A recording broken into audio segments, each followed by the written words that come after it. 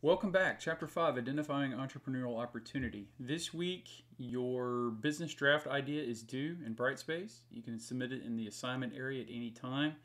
Um, it is uh, basically a Word document. I need about a paragraph just telling me the problem you've identified, the company you'd like to start to solve it, and a 30,000 foot view of how it's going to work. Uh, you can be detailed if you need slightly more than a paragraph, but I'm definitely not looking for more than a page. I just uh, want to kick off building your business plan for the business you have in mind.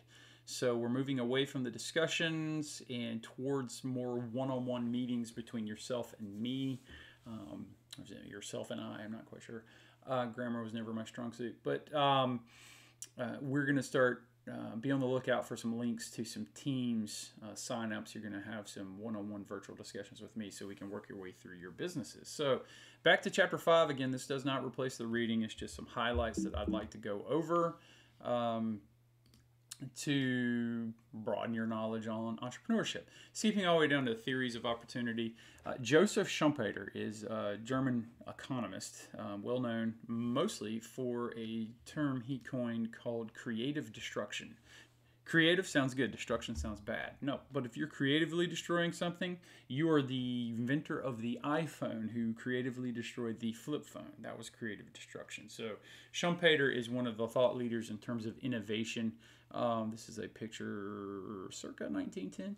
So, I mean, he's kind of back in the day, but still a term you should know. Um, most of you guys know what I'm talking about when we talk about supply and demand. Supply is the amount of a product or service produced. Demand is the consumer or user desire for those outputs, how much they want. So you obviously want to create a company for something that there is actually demand for. Um, there's no point in creating a excess supply of something that people don't want. Um, demand may be for something that they don't know exists yet. Um, for example, everyone has pretty much a smartphone now, but those didn't exist once upon a time. But they came along and creatively destroyed, as Schumpeter would have said. Um, the smartphone creatively destroyed the well dumb phone, the uh, foldable phone, the you know cheap phone. Um, so we keep talking about creative and innovation. We were talking about this um, last uh, class about being, or last week about being uh, creative. One thing I would really encourage you to do if you're on social media is follow fellow entrepreneurs. Um, Sara Blakely and then honestly her husband Jesse Itzler um, are very creative um, and good follows on social media. They're just they seem like a nice family to begin with. Jesse Itzler, um, I Z T L E R, and then Sara Blakely, as you see uh, posted here or uh, on the screen here. Um, she formed Spanx which is an undergarment company that basically doesn't show a line um, of, of undergarments. So uh, definitely check her out. Um, there's Ed uh. Oh my goodness, so many entrepreneurs. Jocko Willink, I love following. He's just an inspirational leader type guy, but boy, is he an entrepreneur as well. Um, you can follow the people from Shark Tank. Man, you got all kinds of types of stuff. Get on social media and follow some of these people. You'll get some great ideas. And they'll tell their stories about where they started and how they got to where they were and their failures and everything. It's really encouraging. Uh, so be sure to read about them.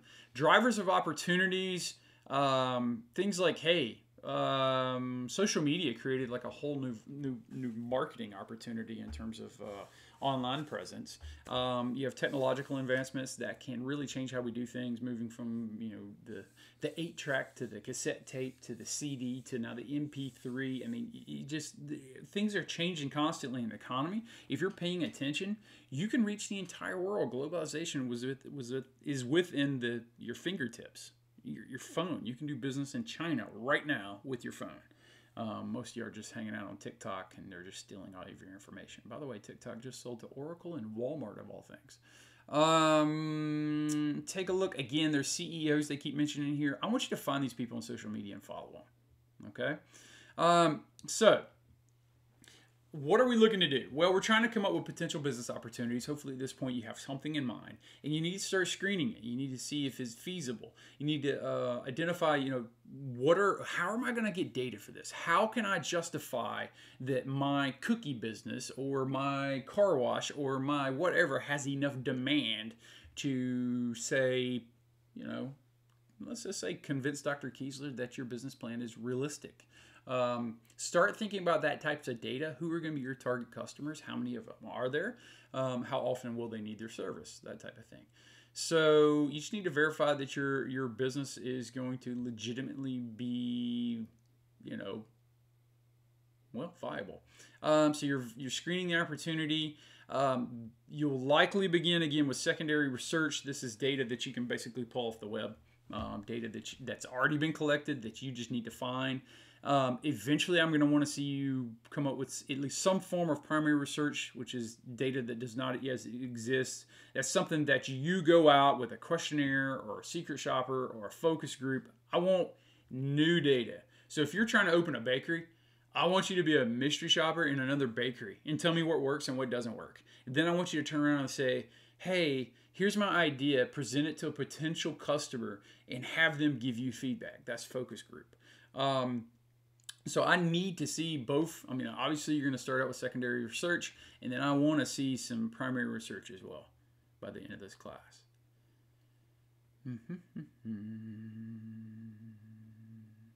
I need to see significant market demand. What's that market look like? Is it just Spartanburg County? Is it the state of South Carolina? Is it the East Coast? Is it Spartanburg and Cherokee County? What is it? Is it a Girl Scout troop? What's going on here? Tell me how many people and what you're trying to do. Um, basically, what we're looking for is something with um, significant market demand, significant market structure and size, something, it doesn't have to exist yet, but just convince me that you could pull it off, and significant margin and resources. Can you make money doing this with enough customers and sustain it over time? All right, keeping our tour along. There's some stuff I really want to get to down here. Just give me a second. Um, Elon Musk, everybody knows I have a man crush on that guy. SpaceX, you know, NASA's like dropping these rockets in the ocean, they just sink to the bottom. Yeah, he just lands them back on the pad. Everybody tells him he's crazy. Yeah, he just keeps doing it. Fourth billion dollar business, is that right? Fourth? Have mercy. Read about him, follow him on social media. Um, here's some 10 reasons why small businesses fail, and these are these are things I'm going to be critical on on your business plan moving forward. Low sales, you just don't have enough sales. Lack of experience, you have all the heart in the world, but you're just missing like a key key thing. How are you going to make up for that experience? Are you going to bring someone else in? Are you going to gain the experience in the in the interim? What's your timeline for that? Insufficient capital, biggest tripping point for most businesses is they don't have enough money up front to start up. So it's kind of like chicken and the egg. Um, I know some of y'all need like a piece of equipment to get a get a business going, and if you don't have that piece of equipment, you can't get your business going. But you also need money to get that piece of equipment, so it's kind of a catch twenty two. How are you going to overcome that? Um, are you going to save over time? What's your timeline for that type of thing? Poor location.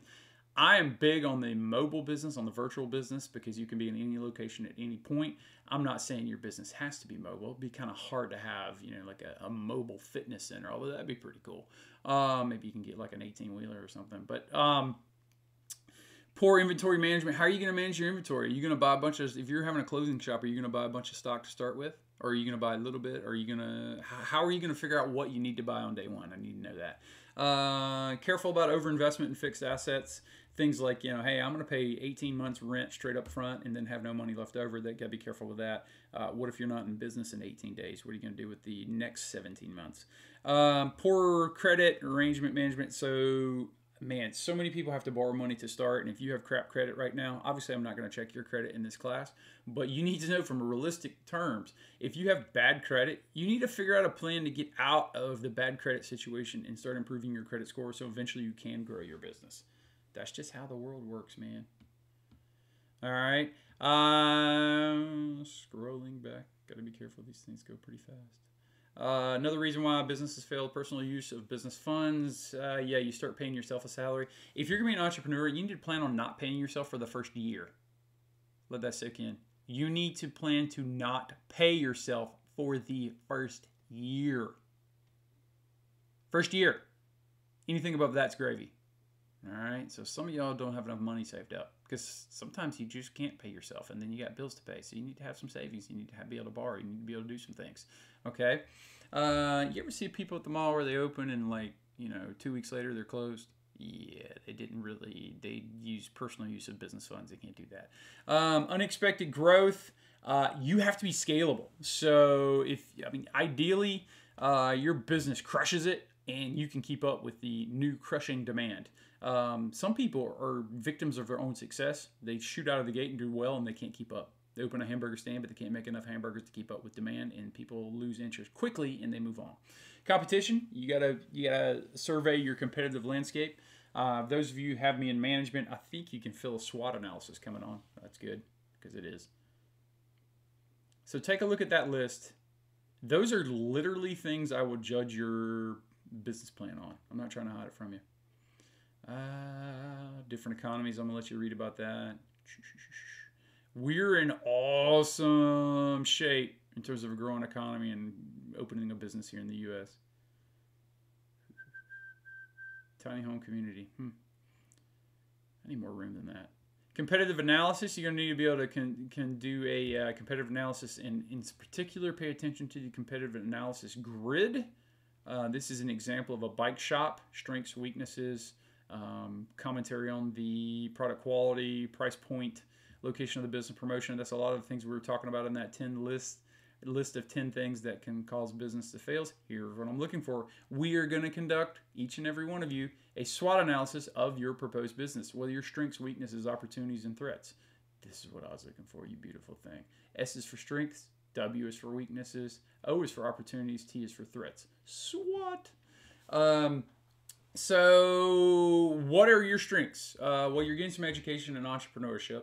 Hopefully, you have some experience in what you're trying to do. If you're not, how can you make that a strength? Because currently, that's a weakness. Then, and your professional network. Who do you know within this in this industry that can help you have an advantage? Uh, weaknesses would be things like you know there are disadvantages. Like for example, if you have no experience opening, say, a firing range, and you want to open a firing range, you might have a disadvantage. But you do have a ton of experience, say, shooting a rifle. Um, you may have a ton of experience baking, but not a ton of experience marketing for a baking company. That could be a weakness. So, what are your potential problem areas? Just be honest here, man. Everybody wants to minimize their weaknesses. I give the highest grades for people who have the longest list of weaknesses because if you identify your weaknesses, you're aware of it and at least willing to admit it. If you're willing to be aware of it and willing to admit it, you're not going to ignore it. You're going to tackle it. Then tell me how you're going to tackle it, and I'm going to give you great scores. Uh, opportunities, technology, like what's your advantage? How are you going to work your business? Is there room for market growth? And what are the consumer needs? So if a consumer needs this, you're like in a town with no bagels and a consumer really wants bagels and you can give me that data and you're going to provide bagels, it's like, okay, right on. Cool. No factor. All right. Um, threats. What's your competition? What's your biggest threat? Is this a market that's going to shrink? Is this something that's going to be creatively destroyed down the line? Be realistic. Be realistic. Be thorough. So make sure you're doing a SWOT analysis. Pest analysis, um, I'm bigger on the SWOT analysis. However, if you put a pest analysis in there, for certain companies, it's going to be very, very important that you do a pest analysis. Political, economic, societal, and technological. Political, because things like government, tax, trade, labor laws. If you're going to open a business in downtown Spartanburg, which, hey, I'm all for opening businesses in downtown Spartanburg. I love it down there, but you have to be realize you're going to pay more tax. You're going to pay a higher sales tax. That goes under the P, under the pest. Economic, what are your interest rates, growth, and inflation? Hey, I'm going to have to get a loan um, to run my car detailing business. Uh, hopefully, you have a good credit score, but what kind of interest rate you're going to get? Because that's going to factor over time. You have to pay back the balance plus interest. What's the economics of the situation? Um, what are the societal issues? Man, well, we're coming out of the COVID 19 pandemic. Lord, I hope we're coming out of it. Um, there are a lot of health implications with a lot of businesses. How are you going to run in a pandemic? You're going to launch it in a pandemic. How? What about your business should make people more comfortable there than they are in other places? That's S societal. Technology. Um, how are you innovating? What's the research? What's the data that's backing up what you're doing? So, um, three circles tour tool. I love these. Um, you have your company, you have your customers, and you have your competitors. All right. So here are your offerings. Here, here so here's your solution here's their problem, and here's their current choices. Okay? If you have a company that overlaps just with a competitor, there's not a whole lot that can be done. Okay? You're just the same thing that someone else does. If you have customers that interact just with your competitor, that's their market advantage. Okay? However, where it overlays this sweet spot right here, okay? Your company gets customers against the competitor, that is your value parity. That is where you can win. This is where your business will make money. Okay? But to do this, you have to do things like the SWOT analysis to understand your company. Your threat is your competition. You have to understand their company. You have to find the sweet spot right here. That's where you want to be. Copacetic? Cool. What is your competitive advantage? I want to let you read about that. The companies that crush it are the ones that take their competitive advantage and just build on it, build on it, build on it. Amazon, for example, let you read about that. Um, their their competitive advantage now is their size, but their competitive advantage before was their convenience and their ability to send it straight to your house in a quick manner. All right, so they have built on that, being able to offer more and send things to your house more quickly. All right, I can literally order something on my phone right now while doing this podcast. I won't do it, and it could be in my house tomorrow. That's a competitive advantage for Amazon. I mean, at some point, people are like, ah, I'll just go to Walmart and pick it up. Have you been to Walmart lately? Nah. I'll just sit here and record lectures the next two days and just get it shipped to me. Competitive advantage. Amazon. Uh, social media, you guys are good at it. You guys are good at it. This is going to be one of the feathers in your cap. Um, social media, in terms of being able to gather research, you can reach out to people on social media and get feedback on your business idea. And I will allow it in your business model. Um, we're going to be working on business models moving forward. There's going to be a lot more information there. Uh, what are you offering? Who are your customers? What is your financial viability? What are you going to charge? Okay. What are your costs in there? And what's your profit? All right. How are you going to run this business? How is it structured? These are the things I'm looking for you to do. So, writing a customer value proposition, take a look at this. Folks are going to get bonus points this week if they turn in their business idea draft with a customer value proposition embedded within it. That means they listen to this video. Yeah, you know, in Brightspace, I can tell who's listening, who's not, who's coming through these lectures. Hmm, you think I'm going to come back on that when participation rolls around? Because I'm spending time recording these jokers. Um, there are a, a, lot of good sources for information. Um, if you recall, in the first week and in the towards the last week, I give you a list of information. Um, two biggies, obviously, are the census um, for secondary data and also BLS, which is Bureau of Labor Statistics, BLS.gov, um, Bureau of Labor. Uh, Bureau of Labor Statistics. You can get a lot of good consu- potential consumer data there and also from the census. But those are all secondary sources. Again, I'm going to be looking for some primary sources too. You want to do well in this course? Bring me some primary sources that that justify what you're saying. Okay? Don't have a business in concrete right now where you're like, I'm going to do it this, I'm going to do it this way, and people are going to enjoy it. No. Have an idea for a business. That's why it's a business idea draft. And then go out and see what the market actually wants. And then you build your business upon that. That is how you make a successful business based on the market, not based on your head. Okay? Be humble enough to realize you don't have all the answers. Go out there and find some potential answers to some, or go out there and find some potential problems and then propose some solutions. See what they're going to do with it. Bring that data back to me and let me give you an A in this class. That's all I want to do. Man, these good projects, they're so easy to grade. I just read over them and was like, yep, that's right, no factor. Hundo at the top. It's the ones that are crap that I got to go through and tell them why they're crap because people who do crap work always want to know why their work is crap. It's crap. And I got to write it up, and that takes me longer, and it makes me give you like a D in this class. I just want to give you an A, man. Just do what I ask. So, with that said, that actually, yep, pretty sure, yep, that finishes up the uh, the old chapter. So, SWOT analysis, big, huge. Okay. Find some entrepreneurs you respect, follow them on social media, get in there, look at these 10 reasons why businesses fail. I'm going to be looking for those 10 reasons why your business might fail. Find the sweet spots. Okay. Find some people you want to follow. All right. Learn a little history here. Schumpeter, he's the man. And identify your entrepreneurial opportunity. Keisler